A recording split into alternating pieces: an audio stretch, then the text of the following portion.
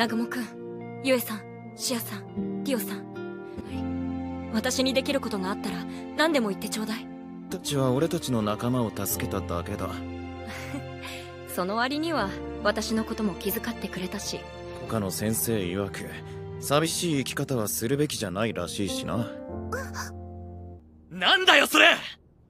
じゃあ俺たちは神様の手のひらの上で踊っていただけだっていうの。どころか俺を非難したんじゃないのか？でもこれから一緒に戦うのなら。だよ！お前は俺より強いじゃないか！何かをなすんじゃない。血が薄弱すぎるんだよ